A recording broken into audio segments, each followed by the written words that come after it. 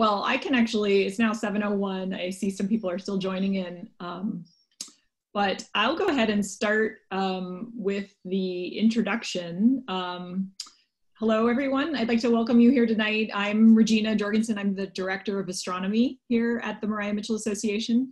And um, I'd first actually like to start out by thanking our sponsors for the Science Speaker Series, um, AC Climate, Nantucket Island Resorts, and the Osceola Foundation. And we thank them a lot for their um, support of this series. I'll also put in a plug here for our uh, next week speaker, next Wednesday at 7 p.m. We're going to be hosting um, Dr. J.J. Hermes, who's a professor of astrophysics at Boston University and one of our affiliated astronomers this summer. And he's going to be giving a talk entitled When the Referee Lets You Name Your Stars. So I'd encourage you to tune into the next astronomy talk as well.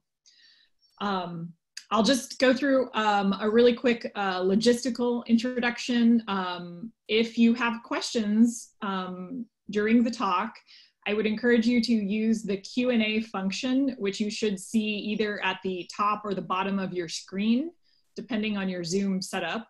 Um, and it allows you to actually type a question in um, and then we'll answer them at the end of Jay's talk.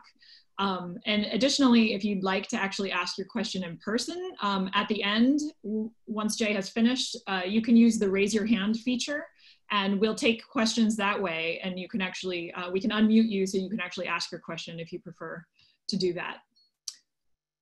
Um, so with that, um, I couldn't be more excited to introduce tonight's speaker. Um, this is the MMA's own research fellow, Jay Chittidi.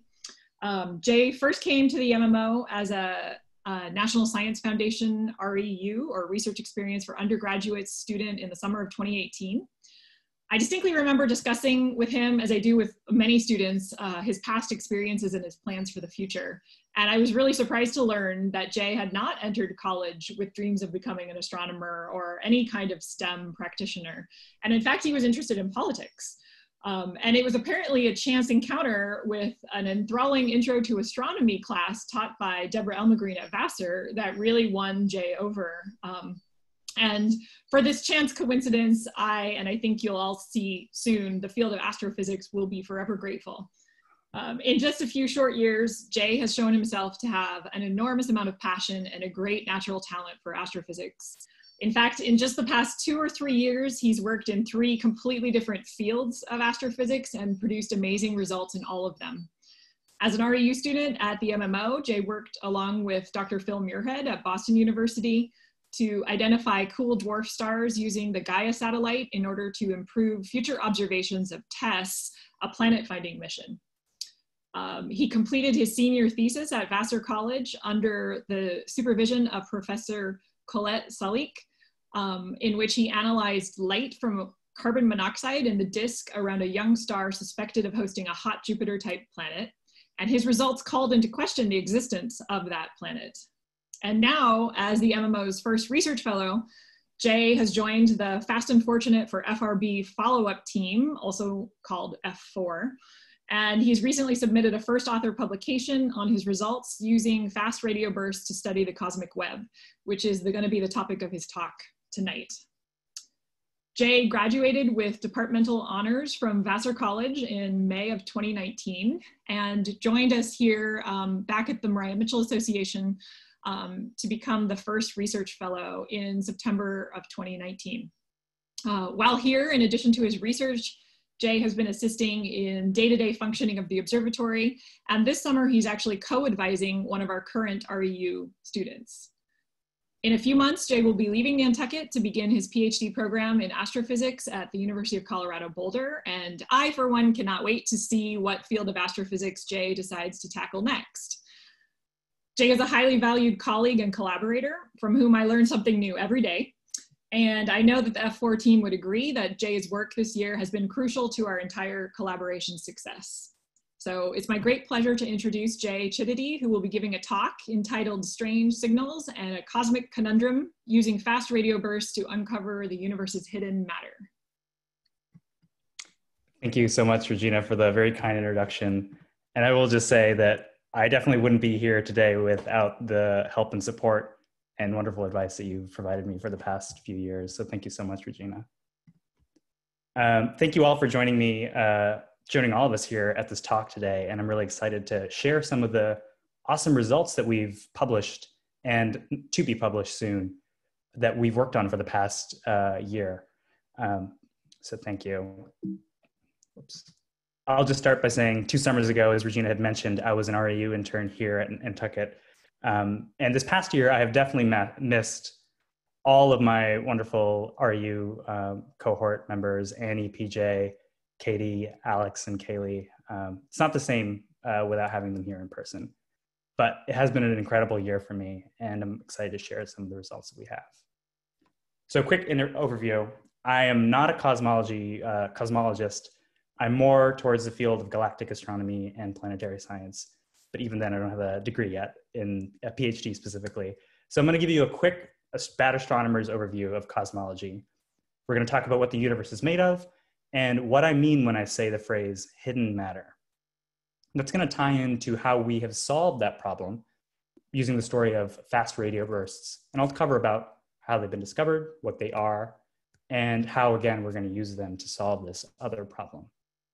And I'll also go over what's next for the field of fast radio bursts, specifically in the work that we do here. So hang in there with me. This is sort of a jargony, uh, a jargony talk, but I think I'm going to be able to try to walk you through some of that. On the right here, I'm showing a, a, a sort of a plot of our universe over time, uh, with the beginning of the universe, the Big Bang, on the left, and the modern day universe all the way on the right. Our universe is made of three simple ingredients. Uh, they're actually not so simple. They're super complicated, and I wish anyone who's trying to make their own universe uh, the best of luck. But those three simple ingredients are something called baryonic matter. That's matter like you and me here on our Earth.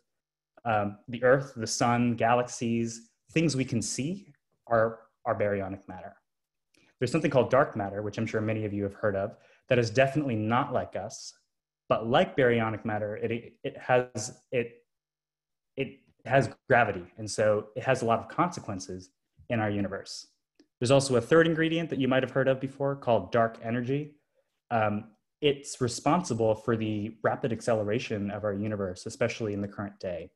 Um, and I honestly don't know much about dark energy. Um, someone else in the audience might. So I will not be talking that much about dark energy or dark matter for that, uh, for that, for that point. Um, so you might want to ask how much baryonic matter is there compared to dark matter, to dark energy in our universe?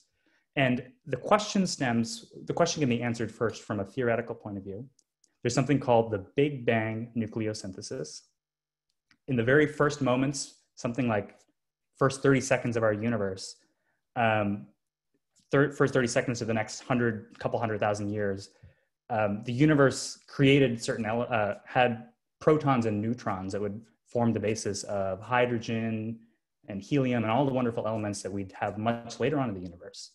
But the question of how much baryonic matter that we would expect um, first was answered in part by studying something called quasars. Regina Jorgensen, uh, Regina here, she's the expert on quasars. And when we, quasars are these really far away um, energetic sources, far, far in the universe. Um, and they, they act as a flashlight through everything in between. And what that allows us to do is that allows us to probe something called deuterium. That's the D there. Um, the D slash H is a ratio of deuterium to hydrogen. Deuterium is an isotope of hydrogen, but that deuterium decreases with time across the universe. What that means is stars, as they're the engines of our modern day universe, pumping out new elements, they actually eat up more deuterium than hydrogen. So the primordial deuterium, the, prim- the deuterium that was formed at the beginning of our universe, um, quasars are helping identify how much deuterium there was earlier on, in the universe versus now.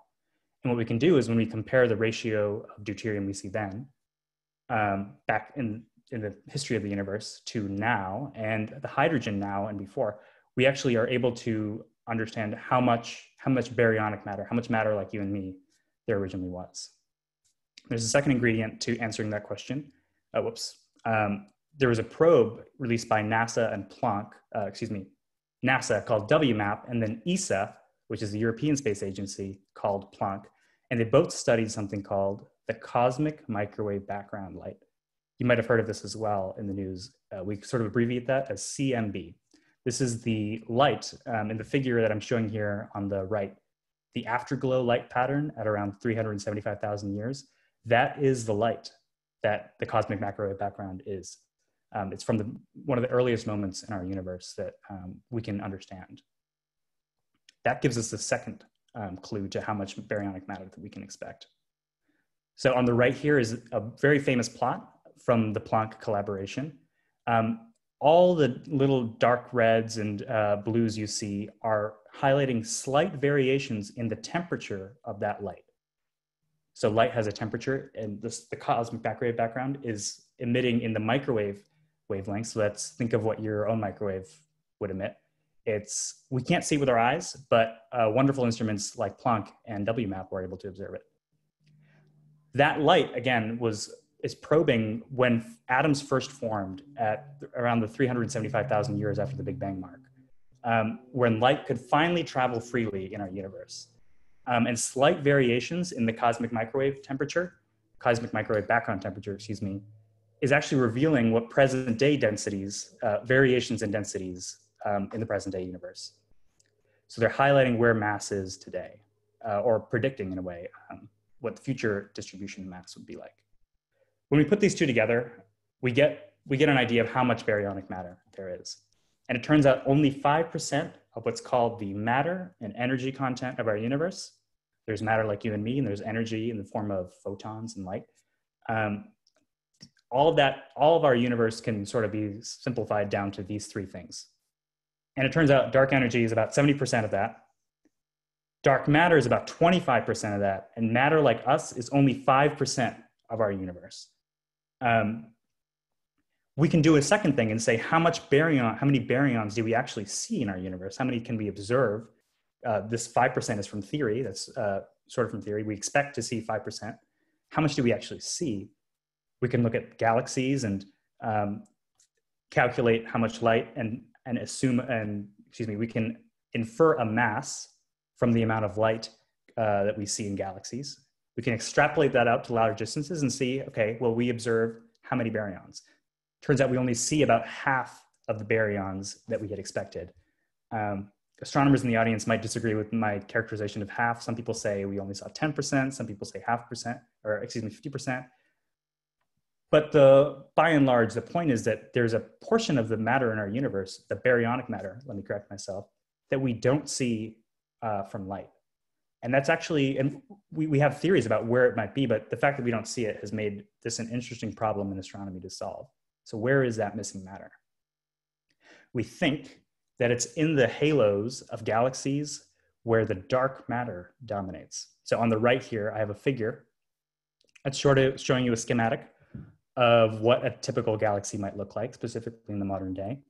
There's a disk where there's a thin and thick disk where stars and gas and um, most of the stuff that we can think of that we regularly uh, might imagine as a galaxy is. There's a central part called a bulge. And around that disk and bulge, there is a, a diffuse medium called a halo. This halo extends way, way, way further out than any light that we can see, partly because of this dark matter. Dark matter has gravity, and so because there is so much dark matter in our universe, remember 25% versus 5%, um, dark matter dominates as you go further out from one galaxy. What we think is happening is that hot and warm gas is ejected from the stars uh, and um, other phenomena in our disk. And that hot gas ends up residing in the halo and it becomes very diffuse. In other words, that means the density is very, very, very low. And because of the it's very hot and it's very it's very low density we can't see it in emission. That means it doesn't emit light. Um, gas also exists in streams connecting galaxies. So now we're zooming out again and we're thinking on a little bit bigger picture. I'm going to show you what that looks like. This is called the cosmic web. Um, it's a giant web of matter and dark matter really um, that's connecting galaxies and we think some of those missing baryons that missing matter is also there. Here's an image of a simulation uh, something called the Millennium Simulation. It's showing a very, very large scale structure of our universe in this cosmic web. So cosmology is predicting that there's more baryonic matter, this matter like you and me, than we can see. And we think right now that it's in the cosmic web and it's in this hot gas in the halos and between galaxies. So I'm gonna, I'm gonna ask you to save that bit in your mind. And I'm gonna take a complete 180 and I'm gonna talk about something different, which is these fast radio bursts. So 2007, there's something called the Lorimer burst. Uh, I have pictured here uh, Duncan Lorimer and Maura McLaughlin. They were both two um, scientists that were hired at, at the University of West Virginia University in 2007. They're both radio astronomers. So radios like we have on our phones, uh, not our phones, uh, in our cars, really. Um, that's actually a kind of light that we can see in an, uh, that astronomers observe. Um, except we've been very clever to repurpose it for communications here on Earth. So Duncan Lorimer and Maura McLaughlin, they're radio astronomers. They look at the universe in radio light. And they were looking at something called the Parkes telescope. That's this wonderful, huge 60 plus meter um, telescope dish, radio dish, um, to study something called pulsars. These are a very unique kind of star in our universe. And what they found while they were observing, looking at these pulsars, was they found a signal, some burst, that lasted for only five milliseconds. That's kind of amazing um, because this, this object had so much, it was so bright. It was one of the brightest things that they had seen. And it only lasted for five milliseconds. So five milliseconds is about five thousandths a second, I think. I hope I did that right. So they're really curious was it just a fluke of the instrument? Was this some crazy other phenomena? So they observed in that same area for about 90 more hours, but they didn't find anything. So I'm going to break down what that signal looked like and why and how it became the, the prototypical fast radio burst. Here's one of the mother, one of the other crazy things that they had discovered in that signal is that here is a, on the picture right here. I have the intensity, which is the brightness of the signal over time. That's in milliseconds, and it starts at zero seconds and about 500 seconds. So it's about half a second long. That's what's showing in this. Uh, that's what's shown in this inset right here, and you can see that really sharp peak that's the, that's the Lorimer burst. And what they found was that the light arrived, um, higher frequencies arrived earlier at the telescope than lower frequencies. What that means is that brighter, you can think of more blue light, um, blue light and red light arrived, there was a time delay between uh, when they arrived at the Parkes telescope. Excuse me, I'm losing my voice. Um, here's another plot that's showing that same thing. This is called dispersion. You can see that this um, black line, this sort of curved line, what it's showing is that, again, these higher frequencies are arriving at the Parkes telescope at earlier times than the lower frequencies. If there was no dispersion, that's what this effect is showing, it would just be this black bar right here. They would all arrive at the same time. I'm gonna do that one more time. This is with dispersion this is this black bar shows what would happen if there was no dispersion. So what is dispersion really? It, it's a way to relate electron density and distance. So dispersion measure, that's, that's a way to quantify this effect, uh, relates electron density and distance. Electrons are baryons, like you and me and most of the other things that we interact with um, on a daily basis. Um, so they give us a way to probe this, the only thing that could cause this effect are baryons. But the dispersion measure for this object was too high. It was too high to be reasonably pointing to anything in our own galaxy. In fact, the dispersion measure was so high that they looked back at their cosmology and they said, what would, if we assume that this is coming from some faraway object, how far away would it be if we assume a density in the cosmic web that we know from theory? And they, they realized it had to be something so like 3 billion light years away. That means that it's probably extragalactic. That means it's coming from outside of our own galaxy. So, one more time higher dispersion um, typically would mean either there's more electrons between you and whatever is causing this, this burst, and or it's at a really far distance. How far is 3 billion light years, you might ask? This is not to scale. I just want to give you an idea. Uh, I have Earth here on the left and the sun. Light takes about eight minutes to arrive from the sun to here on Earth. That's about 93 million miles away. 93 million miles is a lot. I can't even imagine that. Um, but it takes light only eight minutes to travel that far. The nearest galaxy, um, if you're lucky, come to come to Loines. Uh, I don't think now is a great time to see Andromeda, but uh, definitely in the in other seasons, it's it's very visible, and we'll be able to show you the Andromeda galaxy. It's our nearest galaxy. It's in fact the only extragalactic object you can see in the northern hemisphere. It's 2.5 million light years away. Remember, the sun was eight light minutes away, and the Andromeda galaxy is two and a half light years away. Um, and at our fastest speed, it, it would take us something like 10 billion years to reach the Andromeda galaxy. What's funny is actually the Andromeda galaxy is getting closer to us with time.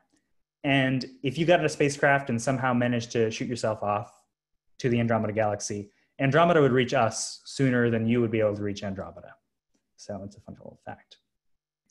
So Lorimer burst happened some 1,200 times further than the Andromeda galaxy is to us. It's kind of, it's kind of shocking in a way.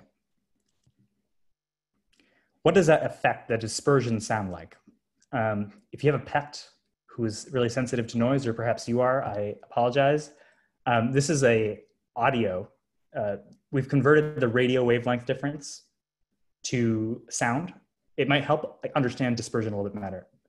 Higher frequencies first, and then lower frequencies later. I'll do that one more time.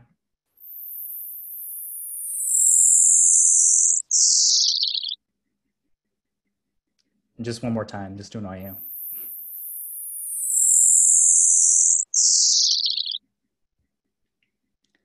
I'm sort of spoiling the surprise of fast radio bursts, but this is in fact a separate fast radio. Burst. This is not the Lorimer burst. This is a different fast radio burst um, called 121102. And I'll talk about that one a little bit more in a few minutes.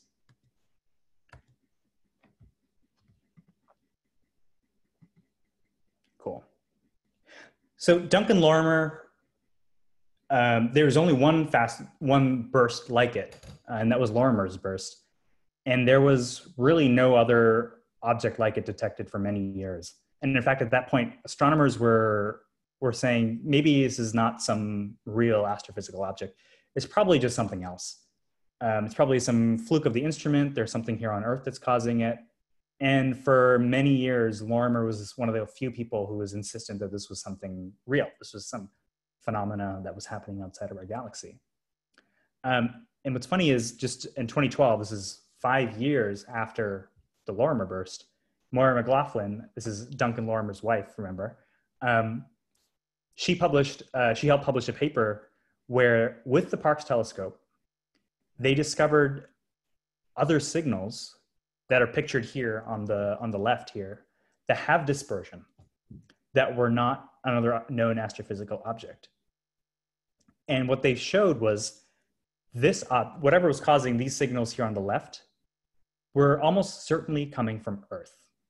And they called this phenomena called they called it perytons. This is a famous Jorge Luis Borges novel. Uh, someone in the audience might be familiar with it. They look something like this.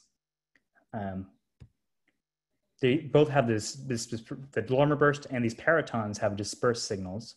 So they, they, they at first you might say that they they might be the same thing.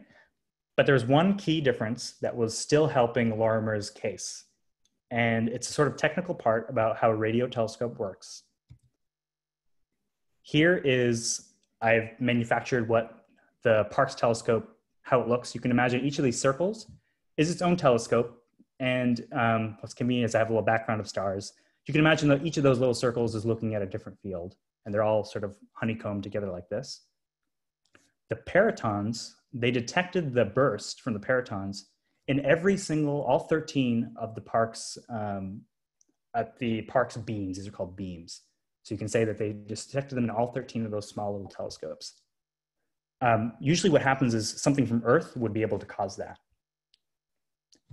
The Lorimer burst only happened on three.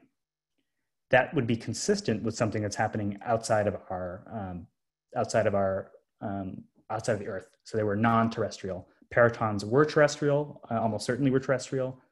But the Lorimer burst, there was still hope that it was not terrestrial because it wasn't it wasn't seen on all of the beams. It, it couldn't have been It, it didn't necessarily have to be something from Earth. The good news is, in fact, in 2012, after Maura McLaughlin had published the paper, the Arecibo array, you might have seen it in GoldenEye or other films here on the on the right. Uh, it's a wonderful revolutionary telescope in uh, Puerto Rico. Um, Arecibo detected another fast radio burst. And in fact, this one would repeat. That was was really exciting. Instead of just one burst, it happened many times. And that's why we call it the repeater. Um, and in fact, the repeater is because it was able to repeat, we were able to point our telescopes at the same location and be able to track down exactly where it was coming from. What we found is this little tiny galaxy 3 billion light years away. It's not the same galaxy as, or it's not the same source as the Lorimer burst. This is a different galaxy. It just also happens to be 3 billion light years away. Um, and that was a terrific discovery because now we had a location for where one of these fast radio bursts were coming from. Here's another thing that we were able to learn with that.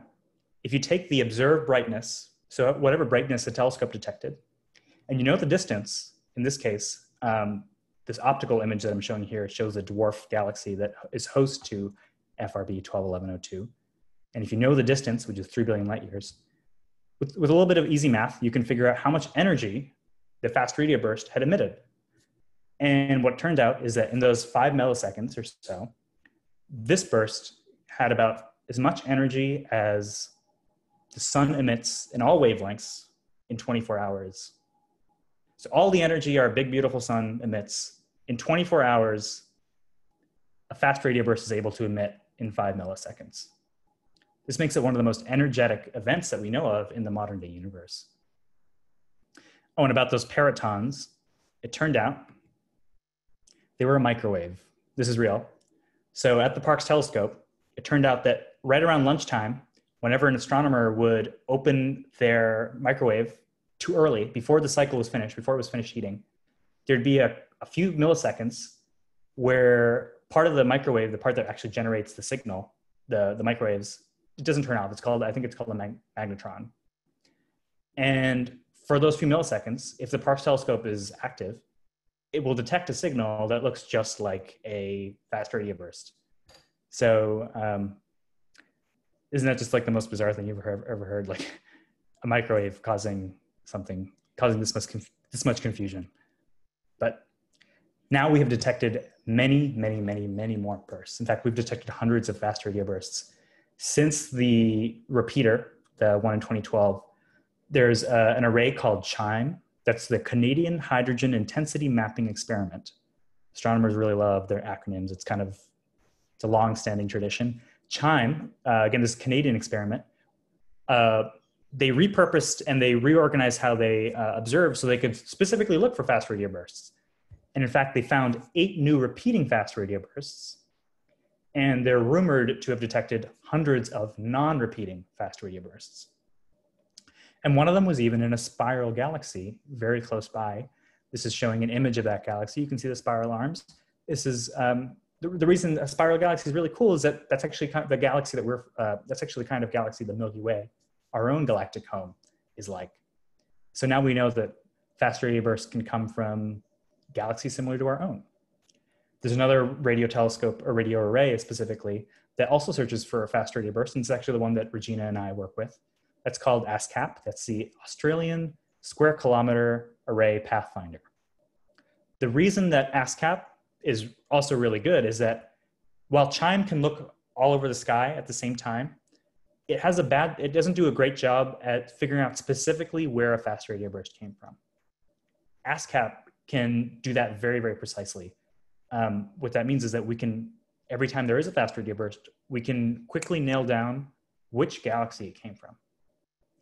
Um, in the next few years, we're expecting to find hundreds of more fast radio bursts. And in fact, we currently think that there's something like 10 FRBs that occur a minute.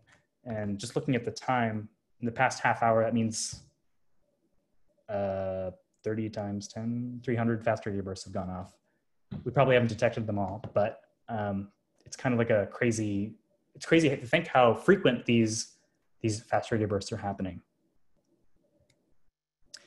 so i know many of you are sitting there like jay you've been talking about what you've been walking around this question but what are these fast radio bursts? What's causing them? Um, and I know many people in the media have hoped that it would be aliens. Um, many, many people have been hoping for aliens. In fact, so many people have been hoping for aliens. But I assure you, it's not ancient aliens. It's not aliens nearby or far away. Um, definitely not that, I assure you, or 99% confident that it is not an alien trying to communicate with us. In fact, we think it's something else. We have about 50 theories until very recently about what FRBs could be. A lot of these um, involved the end stages of massive stars. So on the, on the right here, I've pictured a black hole, a neutron star, a white dwarf, and a supernova. These are all associated with the end stages of not all of the massive stars, like a white dwarf is what our own sun will become at the end of its life, but these very energetic and old, the remnants of stars. And a lot of our theories say, what if it's a black hole colliding with a neutron star or a white dwarf colliding with a neutron star? You can imagine there's a lot of energy that goes into um, an event like that. And that's partly why we think that they might be associated with that. Here's the challenge though a good theory has to be able to explain our observations. So whatever combination of black holes and neutron stars you want to think of, they have to be able to explain repeaters, non-repeaters, and another property of fast radio bursts we've identified, which is that the light coming from them can be really polarized. In fact, one of the most polarized astrophysical objects we've ever detected. Um, and it turns out it's probably not that easy. In fact, one theory probably can't explain all the different kinds of fast radio bursts out there. Um, so there might be many different kinds of objects that are causing these huge explosions that we see. Um, what I do is um, part of our collaboration, we're studying the host galaxies to see if there's clues as to what these fast radio bursts might be. But the field really blew up on April 20th, 28th, 2020. There's a really exciting discovery um, that you might have already heard about in the media. A galactic fast radio burst. So there's this object called SGR 1935 plus 2154. I'm not going to repeat that again. Um, it's something called a magnetar, which is a kind of neutron star with a really powerful magnetic field. I'll quickly explain what a neutron star is. Sometimes when massive stars can't, um, when before instead of becoming a black hole, they they try to collapse and try to collapse and try to collapse, but then they explode, and what's left over is all the pressure pushed the atoms apart and then in, in effect what's happening is the neutrons are all pressed together. Very very dense objects.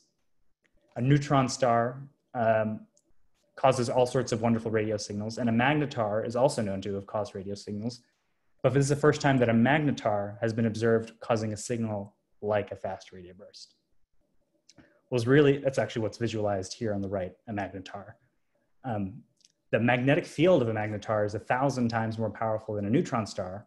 Altogether, what that means is the most powerful magnet on Earth can generate a magnetic field of a strength called one Tesla. I know it's sort of hard to think about, but um, we've actually done a really good job of creating powerful magnets. A magnetar has a powerful a magnetic field, the strength of um, something like a billion Tesla. So a billion times more powerful than any magnet we can, we can create on Earth. So this signal, again, I'm getting off track. a galactic fast radio burst, right? This magnetar, here's a plot of that signal from a paper that was just recently submitted. Uh, at the top two there, you might recall, we showed a similar intensity plot. Um, this is showing signal and noise, but it's similar to um, brightness. Um, it's related to brightness. And on the bottom, the, the x-axis is time in milliseconds where the time since the burst is centered at the peak of the signal. And what I want to highlight is this feature on the right, where it says XP2. About three milliseconds after, there was also an X-ray, uh, there was X-ray emission detected from this magnetar. What makes that really exciting is that if magnetars are common and they're the common source of fast radio bursts, then we might expect X-ray emission coming from other fast radio bursts in distant galaxies to be associated uh, again with the fast radio burst. And so now we're going to be looking really carefully in the future, um, more carefully than we already have, about seeing if we can look at a fast radio burst at the same time with an X-ray telescope like Chandra or XMM Newton, and see if we can detect X-ray emission. It's going to be a real challenge, though. Uh, what's also exciting is that if this galactic magnetar was in a faraway galaxy, it was so bright here that we would have been able to detect it far, far away. So what does that mean? Um, we have one idea of what's causing these fast radio bursts. There are still some gaps that we need to fit, fill in, and there's still possibly totally other avenues for which what can cause fast radio bursts. Um, if you're really curious, there's a website called frbtheorycat.org. There's a website that highlights all the different theories, what you can predict, what sort of emission, other kinds of light you might expect to, from a fast radio burst, if this, if one of those theories is in fact an FRB, um, for the curious-minded people in the audience tonight. Here's what I want you to take away from this section. Fast radio bursts, they're these short but powerful explosions. They're caused by magnetars and likely other extreme objects. Now I'm going to pull it back to cosmology, and I'm going to try to bring in why this fast radio burst is such a game changer for finding that missing matter. So whatever their origins, they're still useful for science, and I'm going to play this quick video that's going to explain dispersion one more time, just because I've gone off track and explained all this stuff about fast radio bursts and stuff. Um, I'm going to talk about dispersion one last time. Um, here's a faraway galaxy, boom, an FRB goes off. And here you see the light. We're showing different frequencies with purple through red. Purple is a higher frequency light, or yes, and then the lower frequency light is a red. As it goes through matter between us and uh, the uh, host galaxy, as it's traveling through the missing matter, the wavelengths are getting further and further apart. Excuse me, the frequencies are getting further and further apart. There's a time delay. The more matter, the more dispersion, until finally we detect it here on Earth. Here it is, the signal from the FRB reaching ASKAP. And there, you see the different color light representing different frequencies is arriving at different times.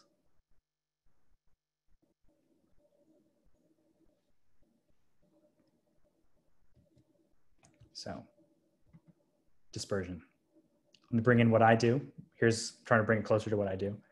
Um, the dispersion measure, again, can tell us about how much baryonic light, or baryonic matter, that's matter like us, that the light has traveled through. So even though that, that invisible hot gas I pictured here on the right, um, even though it's not itself emitting light that we can detect, when light travels through it, it, it's dispersed. And I just remembered one last analogy for dispersion. It's sort of like when if you keep your head above water and you're in the pool or in the ocean, and if you look below water, it looks like your body sort of like went at a tilt and it looks like your head sounded disconnected. Um, that's a similar effect that dispersion is, uh, is causing. When it goes through a different medium, the light uh, travel time is different. There's something else that's also happening that's contributing to dispersion. That's a, that's a good analogy to think of again, I've highlighted one more fact. Less invisible hot gas means smaller dispersion measure. The more invisible hot gas it's traveled through, the faster radio burst light has traveled through, the more dispersion measure.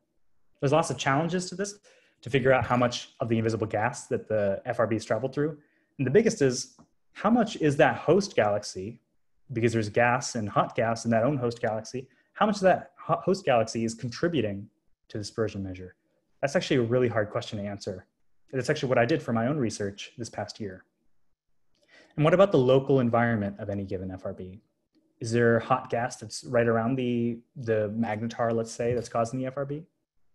Those are things that are hard to figure out. But still, this offers a great way for us to start detecting that hidden matter in our universe.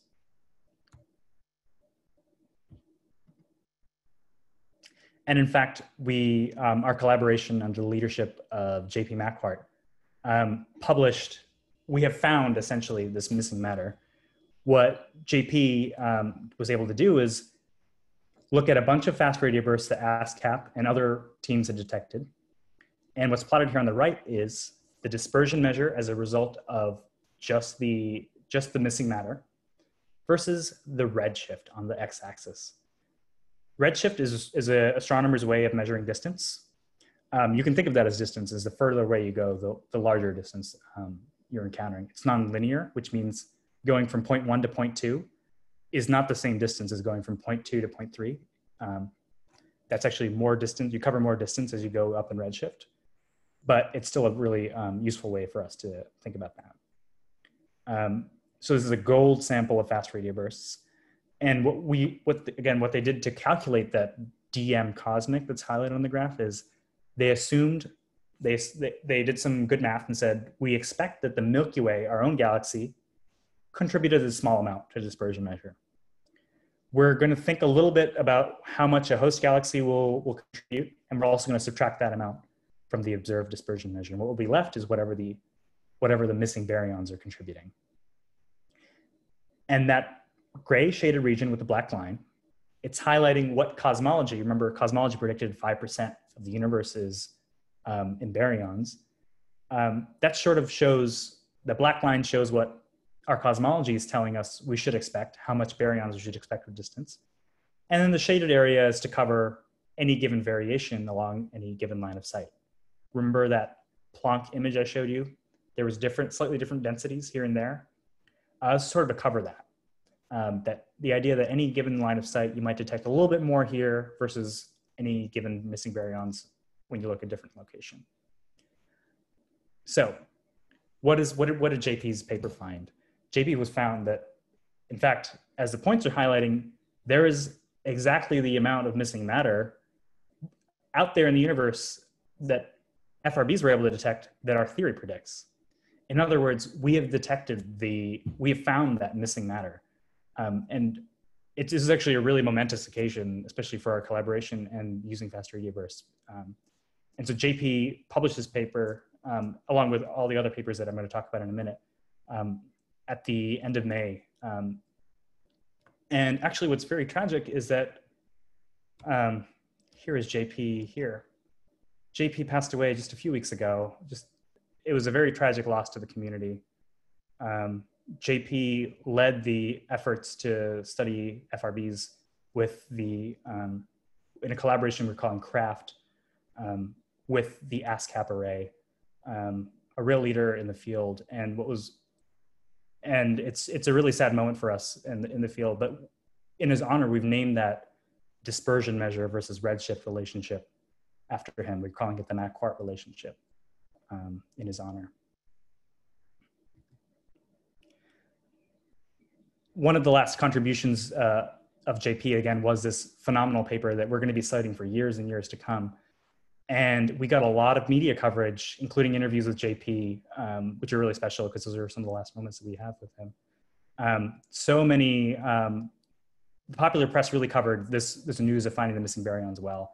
And he was also in uh, CNN and some of our own work was in uh, these other, um, other websites. And that was really cool to, to, to have happen.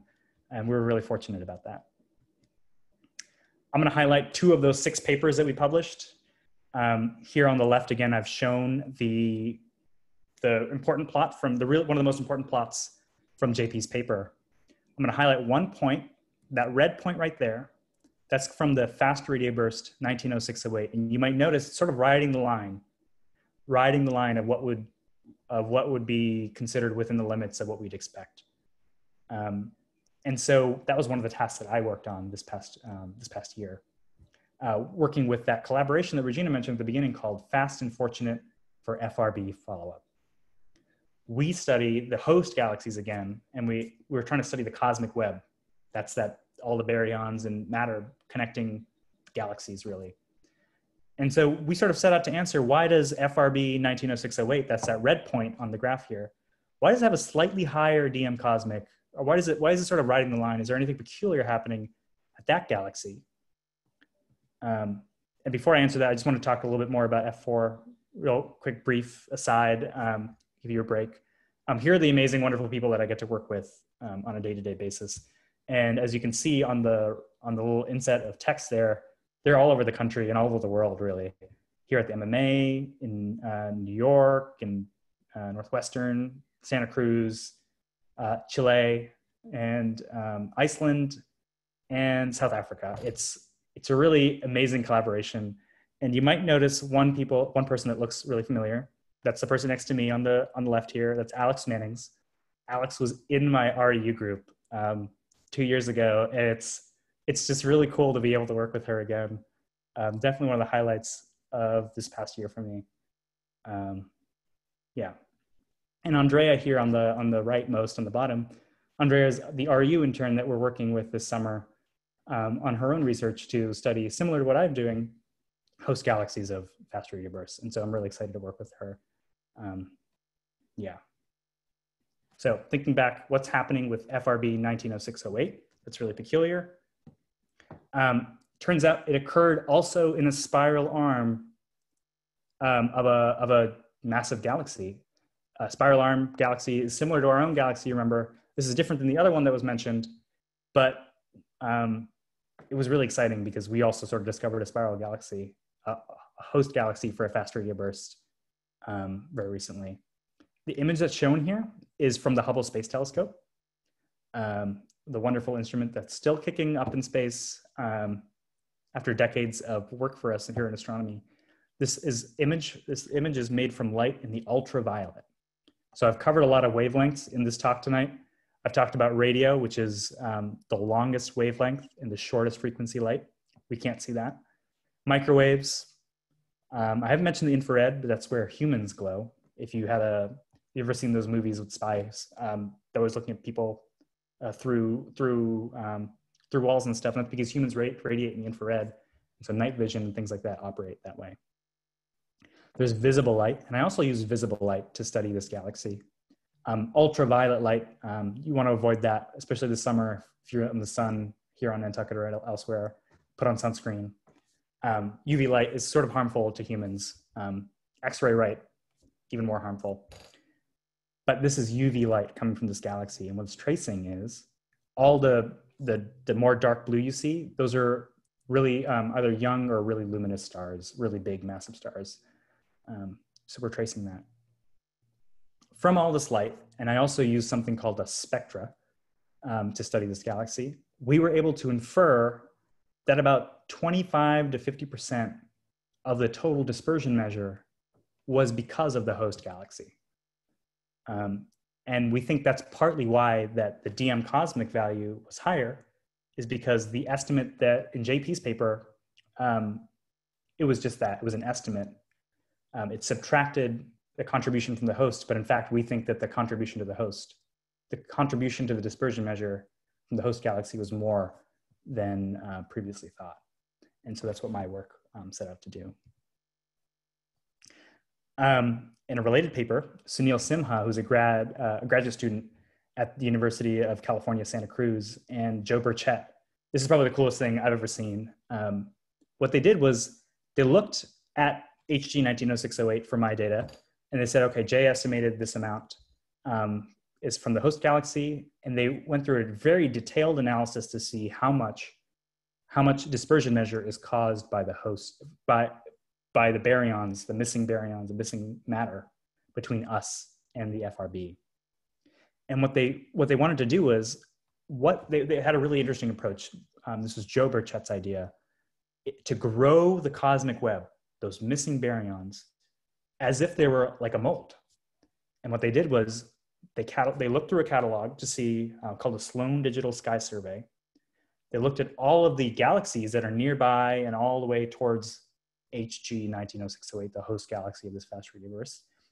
And they made a simulation where all the galaxies are food to grow the mold. And the mold, again, is a cosmic web. Um, and what they were able to do is, using probability, they were able to recreate what the cosmic web would be between us and this galaxy. And that's what's shown here on the left. It's this really beautiful structure. There's a top view at the um, here, um, and then there's a side view on the bottom. And there's a two couple insets here on the onto the right of the plot that's showing you how complex, complex and really beautiful the structure is just along, excuse me, just towards this one fast radio burst. And what we have now is that we have a foundation for mapping the cosmic web using fast radio bursts. So as we detect more and more fast radio bursts and we identify which host galaxy they're from, we're able to figure out, or at least estimate, how much dispersion is caused by the cosmic web and how much dispersion is caused by the host galaxy. And then we're hoping that we'll be able to use these other galaxy surveys to populate and sort of grow the cosmic web, as it were, and to, to, to reconstruct the cosmic web with this model. And it's really, really exciting. It's, it's sort of a game changer, I think, for the field. And it was really exciting to watch um, my colleagues work on this. So whew, that's more, more or less my talk. I'm going to give you a chance to breathe. I'll highlight some of the things that we've talked about today. We have directly observed the hidden matter using fast radio bursts because the dispersion measure, we have more dispersion, the more missing matter there is between us and any given fast radio burst. Our observations, they match the predictions that Planck and WMAP and all the, and the wonderful scientists who worked with quasars way back when predicted. Um, and it is, in fact, in that hot gas surrounding galaxies and in between galaxies. Um, we're soon going to be able to detect hundreds, if not thousands, of fast radio bursts. And as we as we do a better job of identifying their their host galaxies, we'll be able to reconstruct a map of the cosmic web. And you might recall that figure I showed earlier, um, way at the beginning of that simulation that um, that looked like purple, uh, purple and yellow. We'll soon be able to recreate that um, in in the coming years. Uh, instead of a simulation, it'll be closer to what is reality here in our local universe. So it's very exciting. Quick summary one more time. Cosmology predicted that there's going to be more baryonic matter than we see. That's matter like you and me. Um, we're able to use these fast radio bursts, which are these short, powerful explosions caused by magnetars and likely other extreme objects. We still don't know much about what these fast radio bursts are. The dispersion measure from FRBs allows us to detect hidden matter.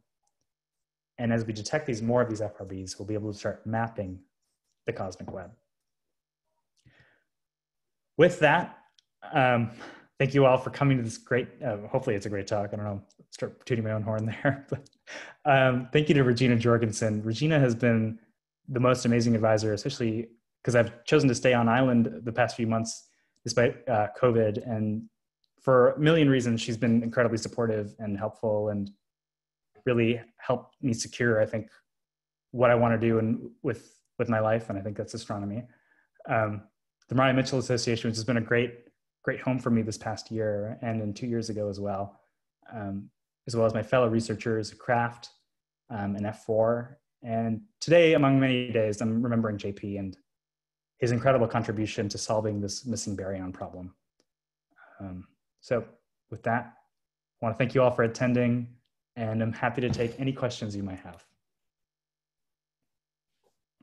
Thank you so much, Jay. That was um, truly fantastic. Um, so we will open it up to questions um, and let me see. We don't currently have any Q&As in the box. If anybody would like to ask a question, I'd encourage you to either type it into the Q&A or um, if you're able to raise your hand, I can unmute you if you'd like to ask it directly.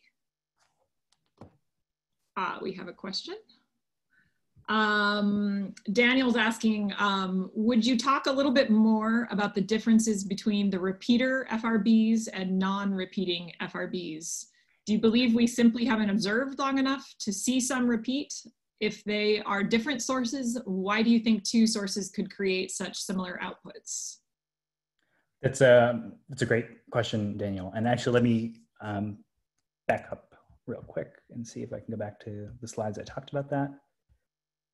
Um, cool. So repeaters, non-repeaters.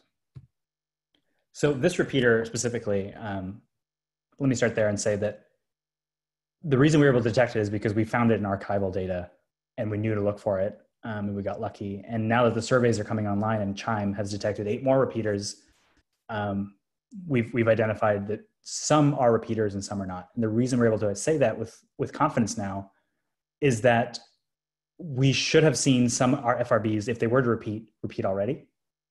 Um, specifically because Chime has um, the kind of coverage to say if they repeat on short time scales, excuse me, let me clarify that. If they repeat on short time scales, we should have detected more repeaters um, already. And I'll also clarify and say that we, we don't think that repeaters and non-repeaters are the same source. In fact, that's partly why we think there's different tracks for FRBs. So if they repeat, there might be one sort of phenomena. If they don't repeat, they might be a different phenomenon. Um, and also tackle the repeating question one more, a, a little more, in a little more depth. We aren't sure why some FRBs repeat yet. Um, some of that might be intrinsic to properties of what's happening around a magnetar. This particular FRB, FRB 121102, one of the leading theories is that this magnetar is embedded in a dense nebula of gas. And every once in a while, it has some sort of flaring event, the, the magnetar. And the way that the emission propagates through this nebula is what's causing um, some of the sporadic repetition. Other FRBs, like the, the one that was in the spiral galaxy that CHIME detected, that one's really peculiar because it repeats something like every 16 days um, it's not perfectly predictable, but it's happened enough that we we aren't sure what's causing that periodicity in repeating FRBs. I hope I answered some, if not all, of that question. Great, uh, thanks. We have a couple more questions coming in. Um, uh, this next one's a challenging one. Um, Verna's asking, uh, first of all, she says, thank you for such an illuminating talk. Uh, how does your research contribute to correlating quantum physics with practical physics, uh, as in a possible theory of everything? Wow, um, that's a great question. I the some of the fundamental physics that underlie our ability to observe um, fast radio bursts and light in general are absolutely because of quantum physics um, how quantum physics uh, resolves with with I guess classical physics is that the question, Regina? You think? Uh, yes, I think that's how I would interpret it. Yeah. Someone, some theorist probably would be able to answer this question a little bit better than me. Um, I don't think directly there's a way for us to resolve those specifically from fast radio bursts. One contribution is in fact, that we've detected those baryons, and baryons form some of the basis of cosmology, our ideas of cosmology.